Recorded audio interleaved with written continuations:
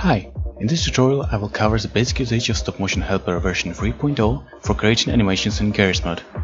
In this tutorial I will not explain how to make proper good looking animation, rather how to set up the tool and use the functions that it has. After downloading Stop Motion Helper from the workshop, we'll have to set it up before we can actually use it. To do that, we'll have to use Developer Console, which can be enabled in the Settings menu. Then, we have to bind any key on our keyboard to be used with this SMH. For basic use we'll need two keys, one to open the menu and another to playback our animation. To open the menu, I'll use the B key, and so I'll enter bind B SMH menu in the console. And to play the animation, I'll use the N key, for which I'll enter bind N SMH playback. With all the keys set up, we will now get to the actual usage of the tool.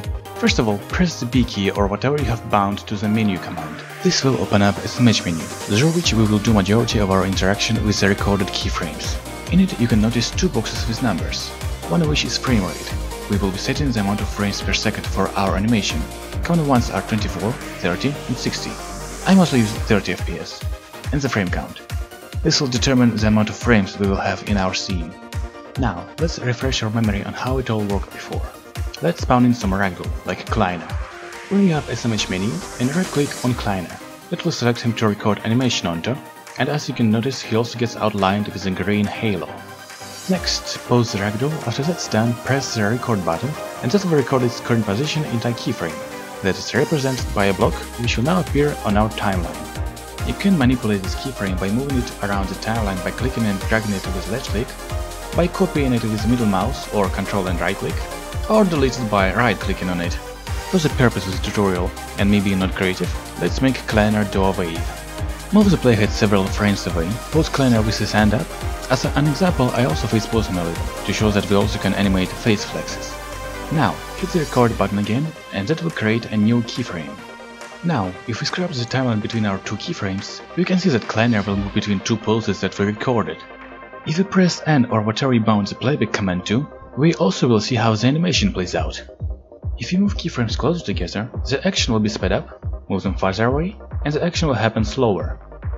Also, do note that if you move a keyframe on top of another one, the keyframe that you moved will replace the other one, resulting in the latter being deleted.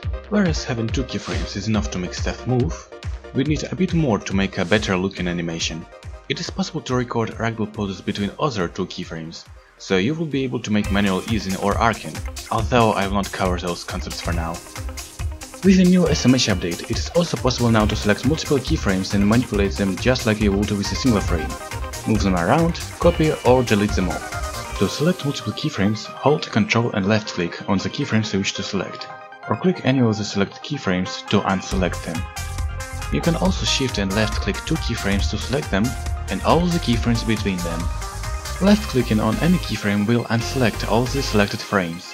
If you want to animate something else, like another character, all you have to do is spawn them in, select them with a right click with the menu open, and do the whole process of recording their poses again. As you select entities with already recorded keyframes, the timeline in the menu will be updated accordingly. SMH also has automatic easing options. However, I will not recommend using them for animating ragdolls. Because ragdolls have many bones, automatic easing will apply the same easing to all of them, making it look weird. However, you can feel free to use auto easing for static props, which consist of just one bone. To apply that automatic easing, move to the keyframe you want to have easing in or out, and enter a number between 0 and 1 into the ease in or ease out options that appear. The closer the number is to 1, the more easing will be applied, with 0 having no easing at all. There are also more console commands that you can bind that can perform actions for you without a need to open the menu. For instance, SMH record records the currently selected entity's pose basically works the same as pressing the record button in the menu. SMH next and SMH previous will move the current frame forwards or backwards by one frame. You also can save your animation with the save window, which you can access through the save button in the menu. After that, enter a save name in the name text box, press save, and your current animation will be saved. Take note that if you already had a save with a name that you've set, that save will be overridden, so be careful with that. It is also possible to delete saves from this window. You also can bind the SMH quicksave command to any button, which will create a quicksave for your current animation, which will name it quicksave. Useful if you're afraid of losing progress due to sudden Gmod crashes or whatever. After that, you can quit the game, get back in some other time and load it back.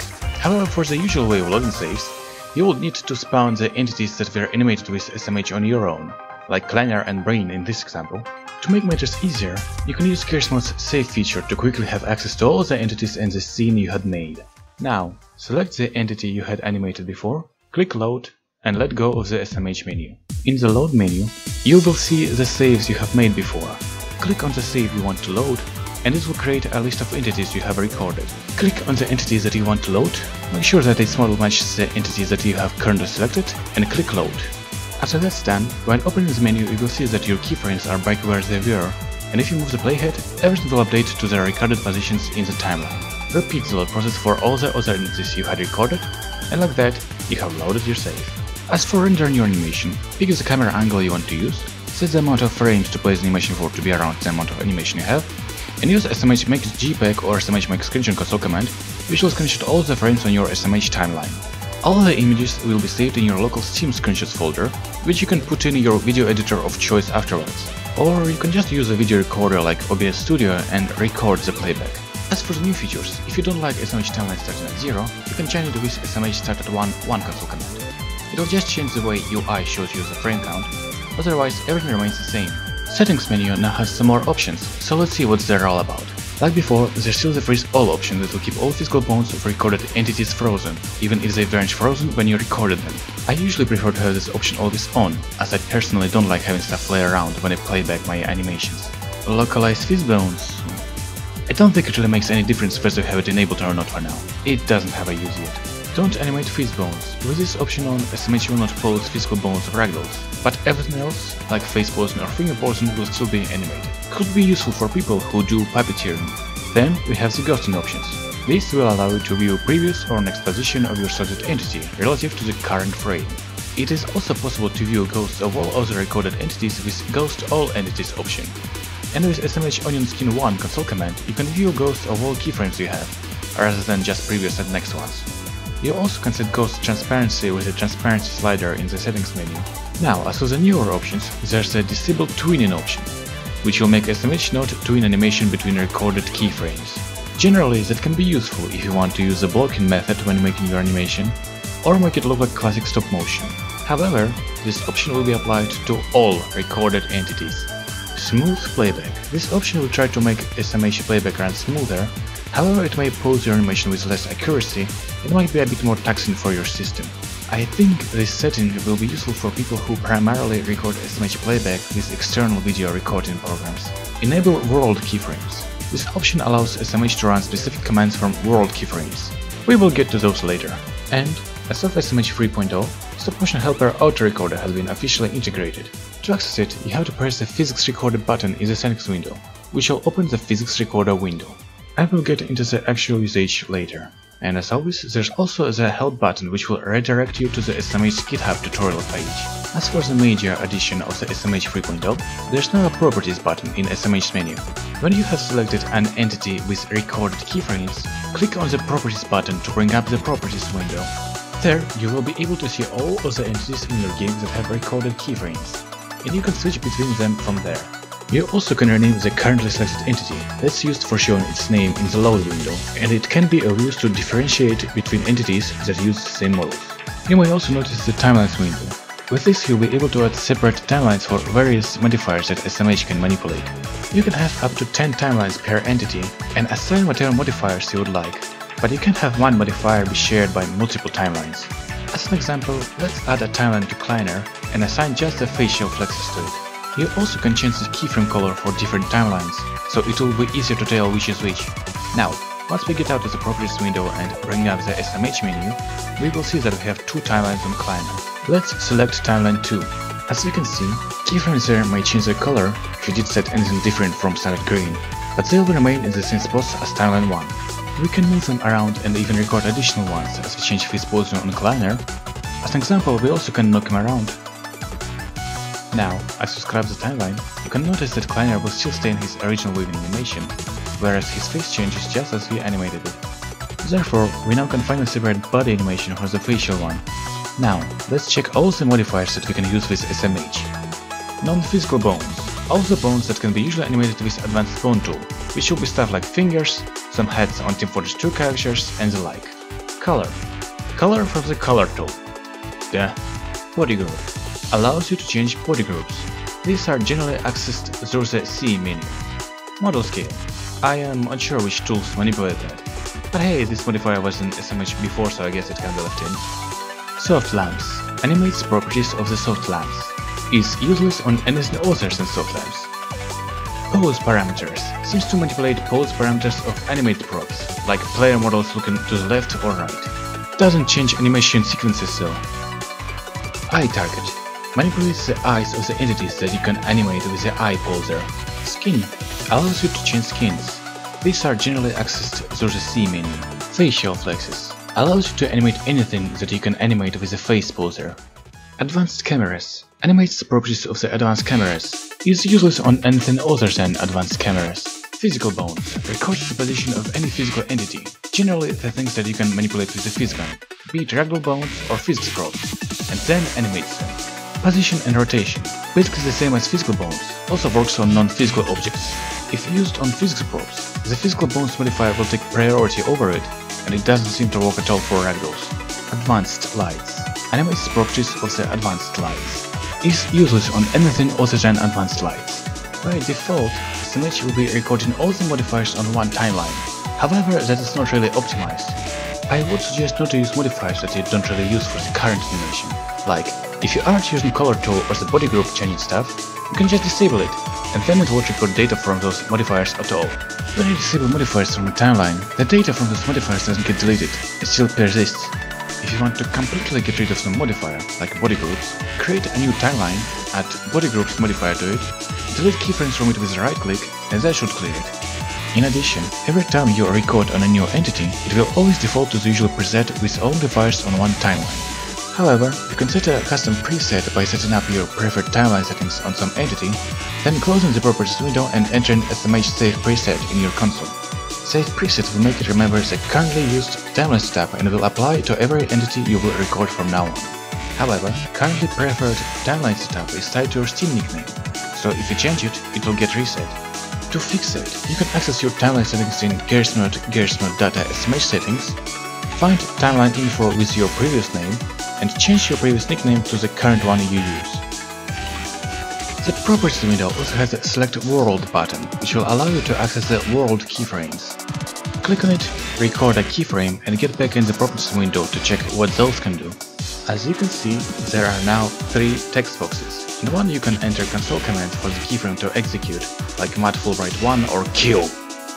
Probably that will come in handy somehow. As for the other two, these are the key press simulators, which are primarily meant to work with Gmod entities that require specific key presses to be activated, like thrusters, wheels or advanced particle controllers. There are specific names for every button on the keyboard that this function uses, there will be a whole list of them in this video description and SMH GitHub tutorial page as a reference. With those, you can simulate a key press on a certain keyframe and then release it on another one. Do note that you can't press and release a key in one frame, that after pressing a key, you have to release it, before pressing it again. There's also a new feature in the load menu, the spawn button. To use it, select a save from the left column and click spawn button, which will cause load menu to close. Open SMH menu again, and you will see a new spawn window to the left of it. In the spawn menu, you can now select an entity from the save to spawn from the right column, and you'll see its ghost appear in the position of its first keyframe. Clicking on the spawn button will spawn that entity and apply all the keyframes from the save onto it, although it will not apply anything other than SMH data, so it will not spawn bone-merged props or materials. However, for the spawning to work properly, it will need physics bone or position and rotation modifiers to be recorded on the entities that you're spawning in.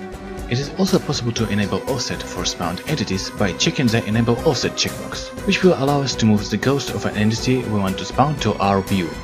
However, it needs some reference point to spawn from, for which you can use any other entity from the save, which we can select from the left column in the spawn menu. With this option, it is not possible to move whole saves to other maps, or even spawn several entities with the same animation in different places. Ragdolls behave weirdly with the Ghost Preview because they ignore position and rotation modifier, but upon spawning they should work as expected. So, if you want to use a spawn offset, I would suggest to have some sort of dummy fix prop somewhere to act as a reference point for the offsetting. You also can use sliders in the spawn menu to reposition your spawn offsets.